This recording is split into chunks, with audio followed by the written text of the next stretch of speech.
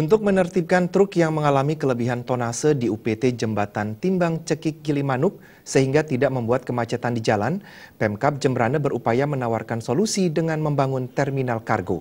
Keberadaan terminal tersebut diharapkan menjadi tempat bongkar muat bagi truk yang kelebihan tonase sehingga proses pembongkaran barang tidak berlangsung di sembarang tempat.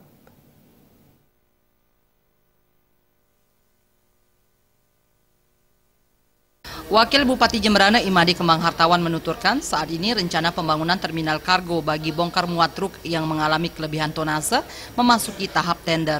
Bila seluruh proses berjalan lancar, diharapkan lima bulan ke depan, pembangunan terminal di atas lahan seluas 4 hektar tersebut dapat dituntaskan sehingga bisa segera beroperasi akhir tahun ini.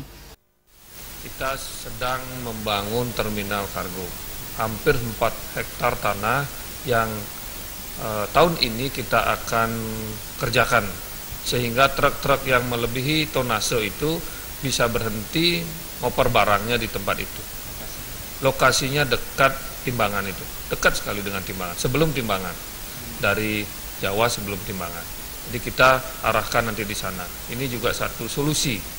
Jangan sampai mereka di stop, dicegat, nggak bisa jalan, memenuhi jalan, akhirnya macet. Dengan adanya terminal kargo tersebut, Kembang Hartawan berharap truk-truk kelebihan muatan tidak lagi memarkir truk di pinggir jalan. Selain itu, pengurangan barang maupun bongkar muat kelebihan barang bisa dilakukan di tempat yang representatif tanpa mengganggu pengguna jalan lainnya. Alit Sidi dan Anggara Tanah, Bali